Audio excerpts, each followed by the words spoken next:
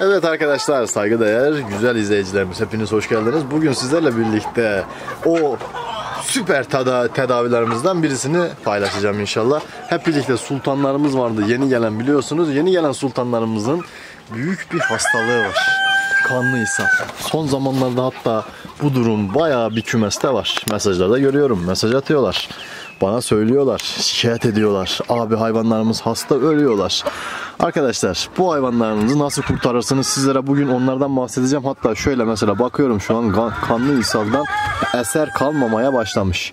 Nasıl bir tedavi izliyoruz, nasıl bir tedaviden geçiriyorum hayvanlarımı ve son ölüm döşeğindeyken bunları nasıl kurtardım bu şekilde hayata geri döndürdüm onu onu göstereceğim.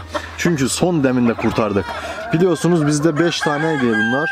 Şu an bir tanesini kaybettik. Kaybettiğimiz gün hayvan alıp incelediğimiz zaman hemen hızlı bir şekilde teşhis üstüne teşhis yaptık ve kanlı ishal olduklarını yani sindirim sistemlerinde sorun olduğunu keşfeder keşfetmez hemen diğer bütün sultanlarımızı alıp bu kafese koyduk ısıtıcılı bir kafese.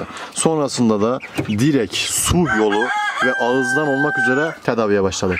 Şimdi sizlerle birlikte gelin bu tedaviyi nasıl yaptık göstereyim arkadaşlar. Bismillah diyelim ve başlayalım. Arkadaşlar şimdi elimizdeki malzemeler şu şekilde olacak inşallah. Yine her zaman gibi vitamin. Bu vitaminden isteyen arkadaşlar varsa aşağıya linkini bırakıyorum. Oradan bakıp alabilirler. Sonrasında böyle bir küçük bir kap çünkü bunun içinde karışım yapacağım. Herhangi bir kap olabilir o sizin tercihiniz. Ben bugün bunu tercih ediyorum. Şöyle de bir ufak da tezgahınız olduğunda.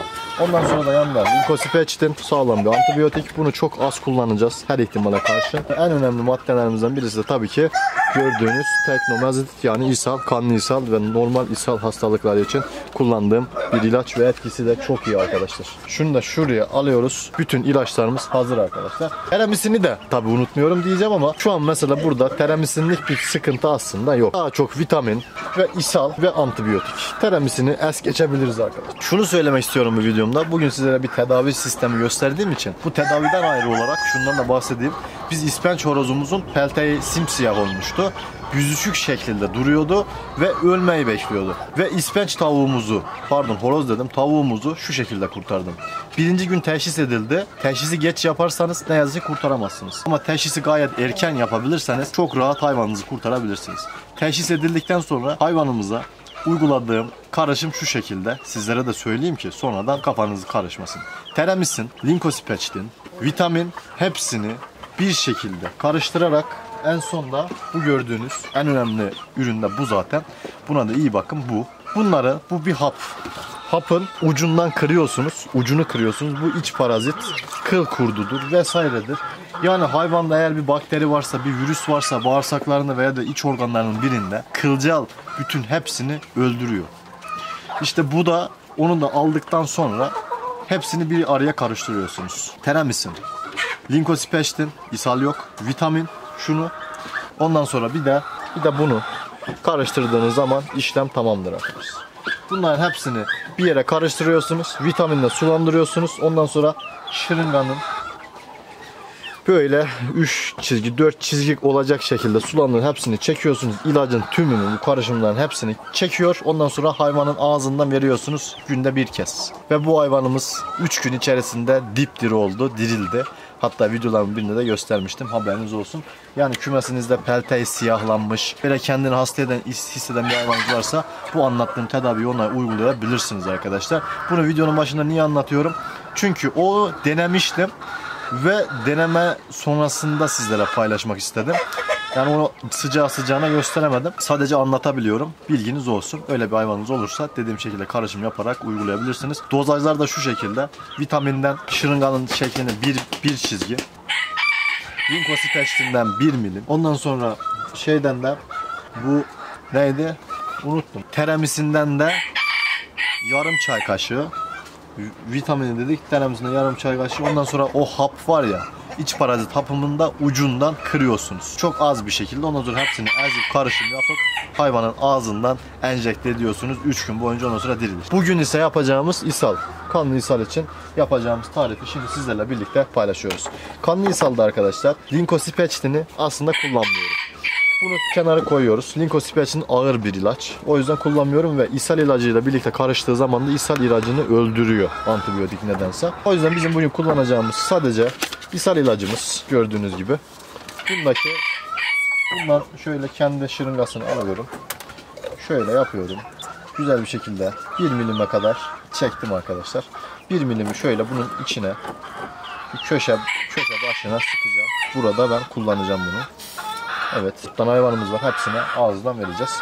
Bunu oraya sıktık arkadaşlar. Ondan sonra gerekli şeyimiz vitamin. Vitaminden de yine alacağım. Neredeyse 1 milime yakın. Çünkü ağızdan veriyorum ve hayvanlar ağır hasta.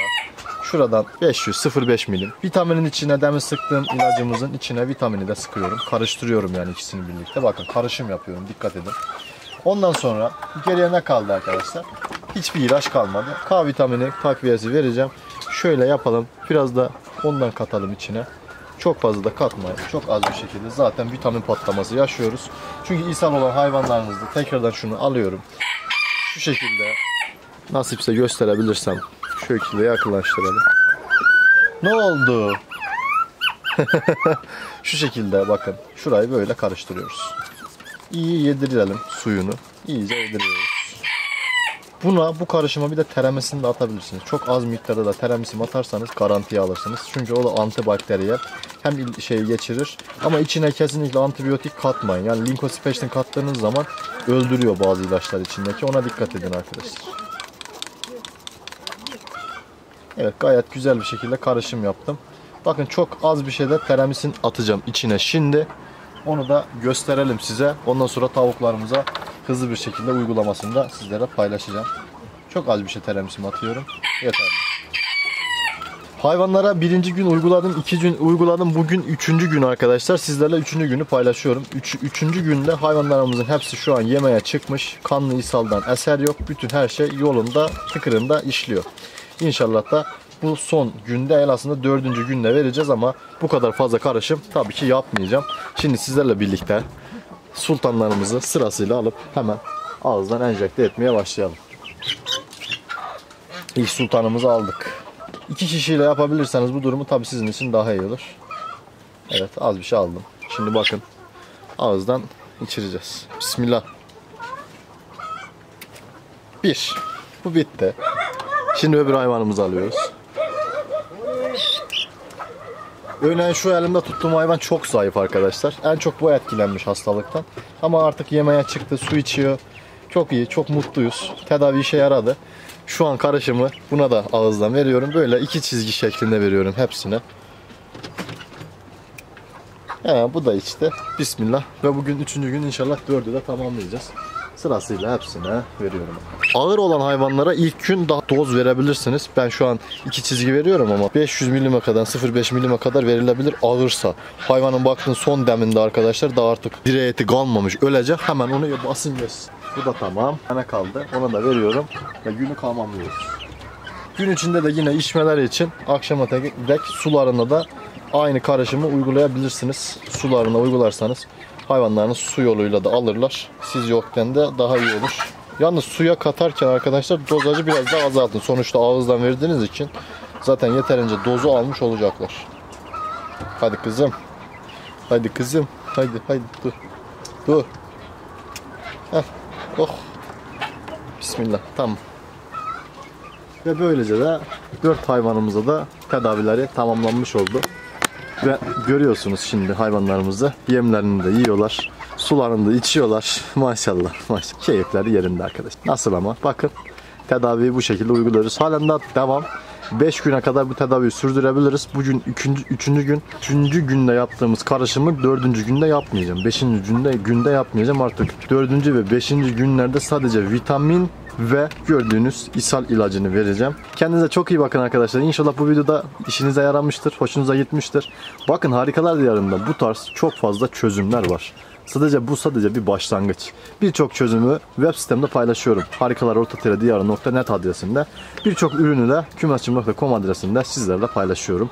Haberiniz olsun. Videonun açıklama kısmında linkleri bulabilirsiniz. Kendinize çok iyi bakın. Hoşçakalın. Bye bye. Aşağı bir teşekkürler ve ehlirem. Hayvanlarınız hastaysa artık düzeltebilirsiniz. Bunu da bilirsiniz. İnşallah işleriniz rast, rast gider. İnşallah hayvanlarınız daha sağlıklı olur. Hoşçakalın. Bay bay.